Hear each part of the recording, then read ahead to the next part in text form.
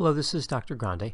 Welcome to my video on testing sphericity using SPSS. The assumption of sphericity is used for repeated measures ANOVA. And to test the assumption, we test the null hypothesis that the variances of the differences between all groups are equal. So taking a look at these fictitious data I have loaded in the data view in SPSS, you can see that I have an independent variable program with two levels, experimental and treatment as usual, and then three observations, three dependent variables. A pretest, a test that occurs six weeks later, and a post-test that occurs 12 weeks later. These all represent the same instrument. So we have these three dependent variables, and looking at this first case, participant 1001, these three scores would all be generated by that one participant. So these are within subjects. This is within subjects, all three of these dependent variables created by the same participant. So when we talk about the variances of the differences between all possible groups being equal, the groups we're talking about are these three dependent variables, not the independent variable, not the levels of the independent variable, but rather these three dependent variables. So I'm going to conduct two repeated measures ANOVAs. One that has just the three dependent variables here, the three scores, and then one that has the between subjects factor. And I'll show you how we test for sphericity using Mauchly's test.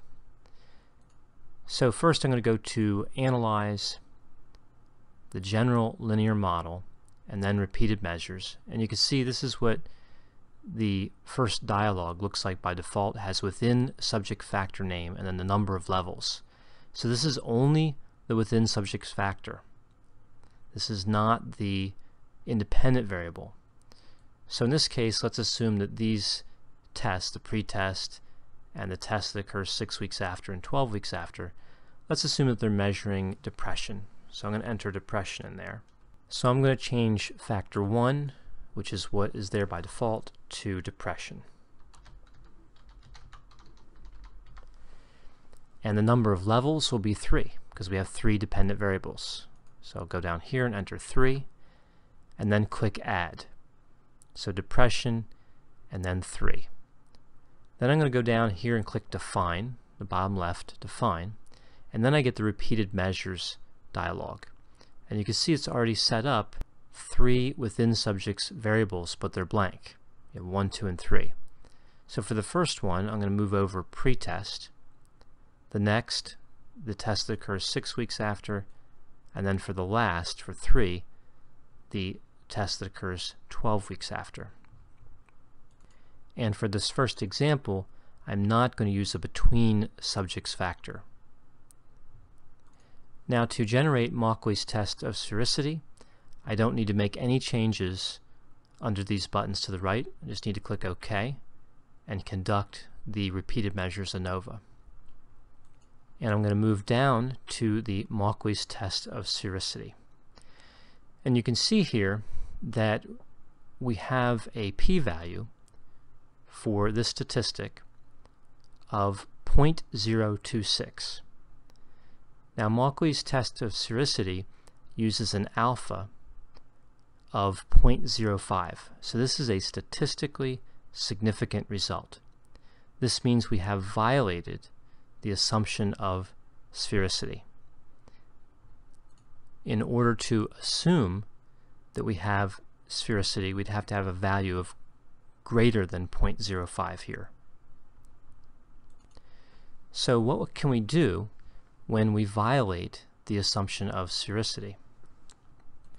Oftentimes when using parametric statistics, we note that some parametric statistics are robust to some violations of the assumptions associated with them. However, in the case of repeated measures ANOVA, repeated measures ANOVAs are sensitive to violations of sphericity. So we need to act when we have a statistically significant value. We can't just assume that the statistic is robust to sphericity because it's not. Fortunately, SPSS includes a few corrections that we can use in the event that we do violate sphericity. One is the Greenhouse-Geisser, and the other is the Huynh-Feldt. Now here we have the values of epsilon for these statistics, not the p-values. That's down here in the test of within subjects effects. But we need to first look at epsilon for Greenhouse-Geisser and for Huynh-Feldt. And you can see in this case one is 0.851 and the other is 0.886. The number that we want to keep in mind when we're looking at these two values is 0.75. If we have values here that are less than 0.75, we're going to interpret the greenhouse geyser correction, which is down here. If the value is greater than 0.75, we're going to interpret the Huynh-Feldt correction. In this case, we can see that both of these values are greater than 0.75, so we would interpret the Huynh-Feldt. So moving down to the test of within subjects effects, we can see the first row is sphericity assumed. Uh, we can't use that value because we violated the assumption of sphericity. Then we have Greenhouse-Geisser. Again, we're not going to use that one because we have an epsilon value here of greater than 0.75. And then we have Huynh-Feldt. This is the one we would interpret, and you can see it is statistically significant.